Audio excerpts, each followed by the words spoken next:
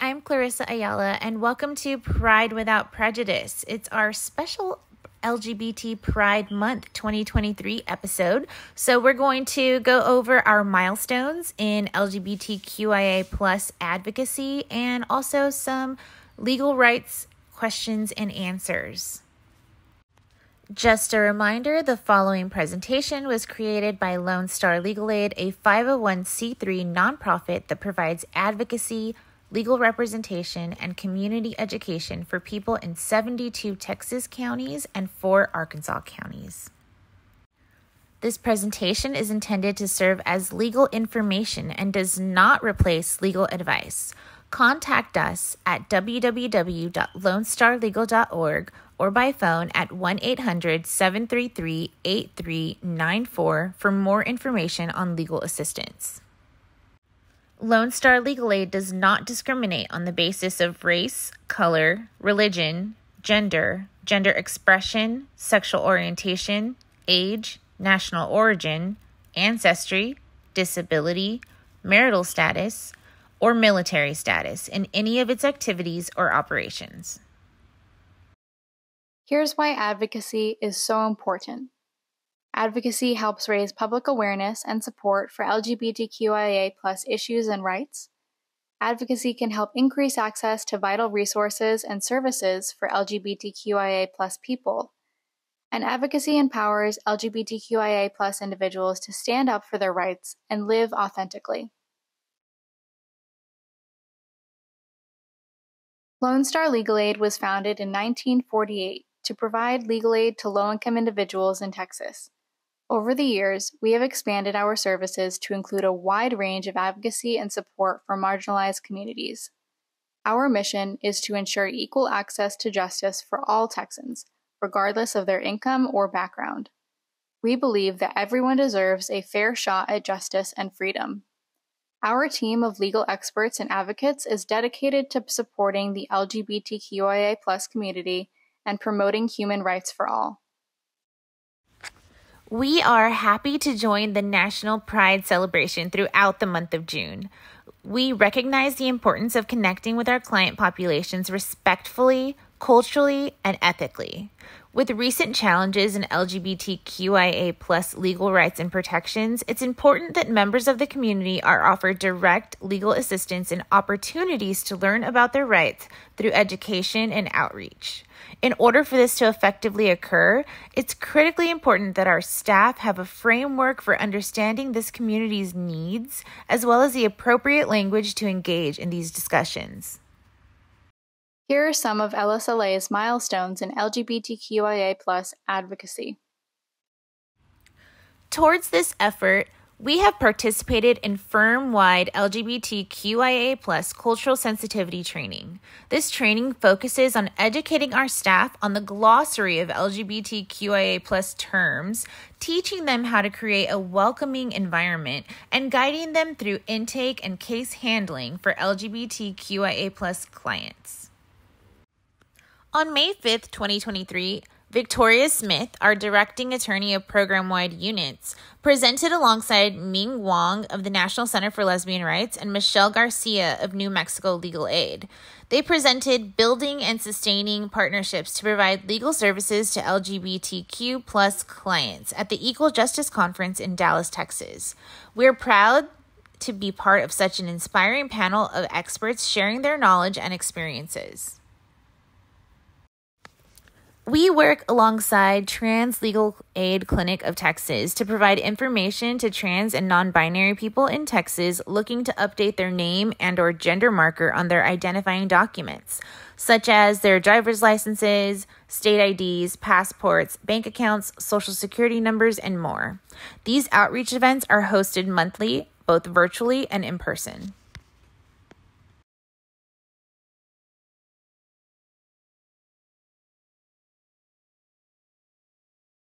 We celebrated Pride Month and the Montrose Center's 45th anniversary by attending the Community Pride celebration on Saturday, June 17th. Houston's LGBTQ Center opened its doors and parking lot to welcome thousands of friends and family for a free Community Pride celebration featuring live entertainment, dozens of LGBTQ businesses and community organizations, special surprises, and more.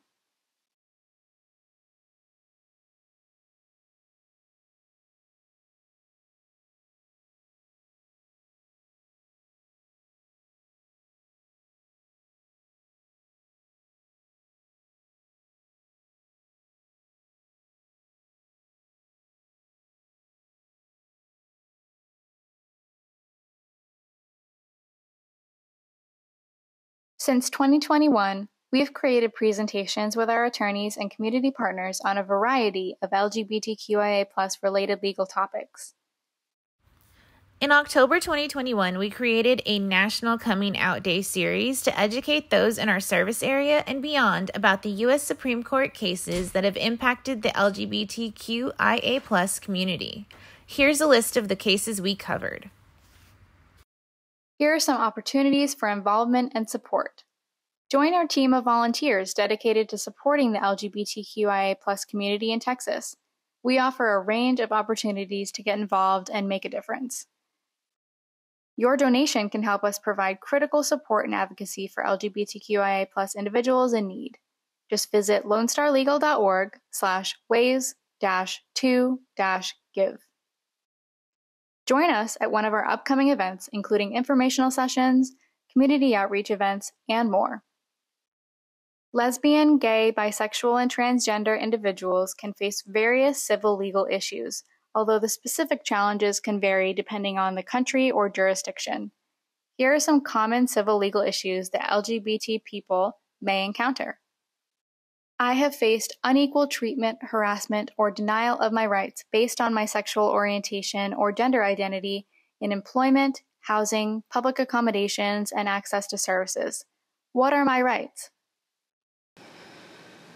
Texas does not have comprehensive statewide laws explicitly prohibiting discrimination based on sexual orientation or gender identity. However, there are federal laws that can provide some protection. The Fair Housing Act is a federal law that prohibits discrimination in housing based on various protected characteristics, including race, color, religion, national origin, sex, disability, and familial status. While it does not explicitly mention sexual orientation or gender identity, the State Department of Housing and Urban Development, which we call HUD, has provided guidance that interprets the FHA's sex discrimination provision to include discrimination based on gender, identity, and in some cases, sexual orientation. The Affordable Care Act is a federal law that includes provisions prohibiting discrimination in health care based on various characteristics, including sex. Title VII of the Civil Rights Act primarily addresses employment discrimination. The U.S. Supreme Court's landmark ruling in Bostock v. Clayton County in 2020 held that discrimination based on sexual orientation and gender identity is a form of sex discrimination prohibited under Title VII. This interpretation extends protection to LGBT individuals in the workplace and indirectly impacts access to certain benefits, including healthcare coverage offered by employers. I have faced workplace discrimination, including being fired, denied promotions, or hostile work environments due to my sexual orientation or gender identity. What are my rights? Title VII of the Civil Rights Act prohibits workplace discrimination based on various protected characteristics, including sex. LGBT individuals in the workplace are protected against being fired, denied promotions, or subjected to hostile work environments due to their sexual orientation or gender identity. The jurisdiction where I live does not recognize my same sex marriage or provide the same legal protections for my LGBT family as for heterosexual couples. What are my rights? Same sex marriage is legal nationwide in the United States following the Supreme Court's ruling in Obergefell v. Hodges 2015 but some counties or individuals may still resist or create obstacles to its recognition.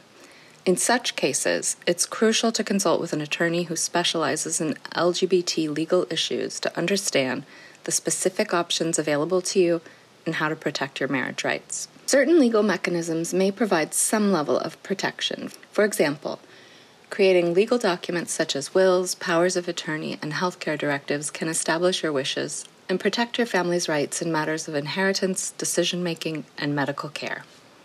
I am the survivor of a hate crime, violence, and or harassment based on my sexual orientation or gender identity. What are my rights? Texas law recognizes hate crimes and provides enhanced penalties for crimes committed against individuals based on their sexual orientation or gender identity. If you are a survivor of a hate crime, you have the right to report the incident to law enforcement, and the authorities should investigate the crime with the understanding that it was motivated by bias or prejudice.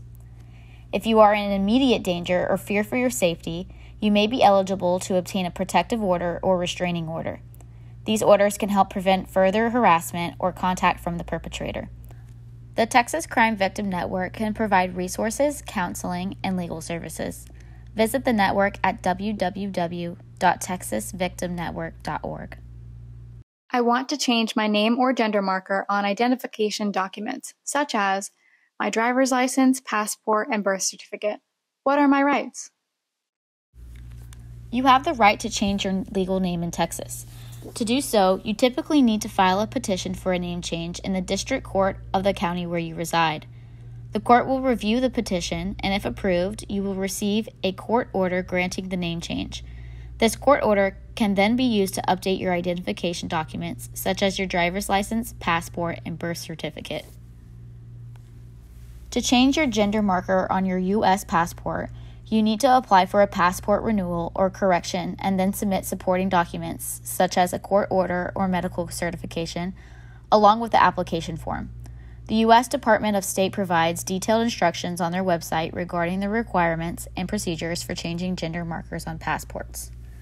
The Texas Department of Public Safety, or DPS, allows individuals to change their gender marker on their driver's license or identification card. To request a gender marker change, you generally need to submit a completed application, supporting documentation such as a court order or medical certification, and pay any required fees. The specific requirements and processes may vary, so it is recommended to review the DPS website or contact them directly for the most up to date information. Texas Vital Statistics will issue a new birth certificate with an updated gender marker upon receipt of a court order for change of sex. The Texas Health and Safety Code does not have a specific gender change provision in statute, and therefore some counties and judges are averse to issuing the necessary court orders. You may be able to use court orders from another state, but please note that the order must specify the sex change. The Vital Records Office will not accept gender changes. Travis County has good resources and procedures to change your gender marker. You do not have to live in Travis County. You can file remotely through eFile. My LGBT youth faces bullying and discrimination at school. They also face obstacles in accessing supportive resources, inclusive sex education, or participating in extracurricular activities. What are their rights? Texas has specific laws regarding anti bullying policies in schools, which may provide some protections for LGBT students. Texas school districts are required to adopt a policy concerning bullying. School districts' policies must contain key policy and procedural elements, including, but not limited to, statements prohibiting bullying and retaliation, procedures for notifying parents or guardians of the alleged victim and the alleged bully, statements regarding actions a student should take to obtain assistance and intervention in response to bullying, statements regarding the available counseling options for a student who is a victim of or a witness to bullying or who engages in bullying, procedures for reporting and investigations, provisions related to the disciplining of students with disabilities, and requirements for how the district policy will be publicized within the district. Minimum standards for a school district's policy must include an emphasis on bullying prevention by focusing on school climate and building healthy relationships between students and staff, establish a committee to address bullying by focusing on prevention, health, and wellness, require student instruction on building relationships and prevent bullying and cyberbullying, Include an emphasis on increasing student reporting of bullying incidents, including anonymous reporting. Require districts to collect student survey data and use the results to develop action plans and address student concerns. and require districts to develop a method to assess bullying incidents and determine the district's response to the incident.